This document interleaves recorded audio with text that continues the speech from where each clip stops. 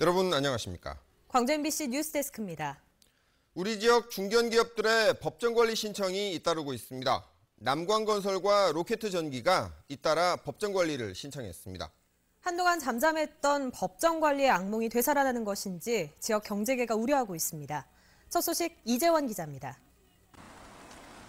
국내 도급 순위 166위, 광주 지역 5위의 남광건설이 법정 관리를 신청했습니다. 광급공사 위주로 사업을 진행했던 남광건설은 사업 다각화에 실패한 데다 최근 유동성 위기에 봉착해 자금난을 겪었던 것으로 알려졌습니다. 수주가 지금 저쪽 해주고에 많이 없어졌죠. 아, 이제 공사들이 다 끝나거든요.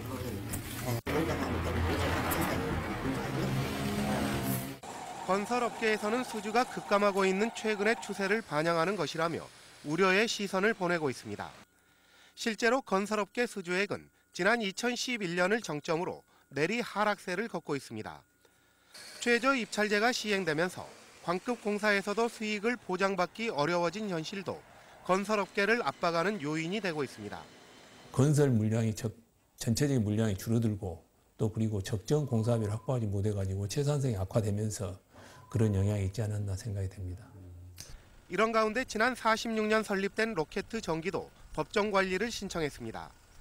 로켓 전기는 자본금이 50% 이상 잠식당했고 감사 의견마저 거절당해 주식 시장에서 퇴출될 위기까지 처했습니다.